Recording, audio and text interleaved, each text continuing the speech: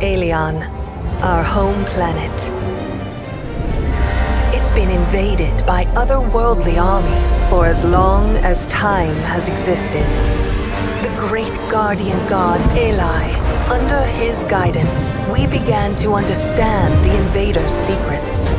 New advanced technologies and powerful magic.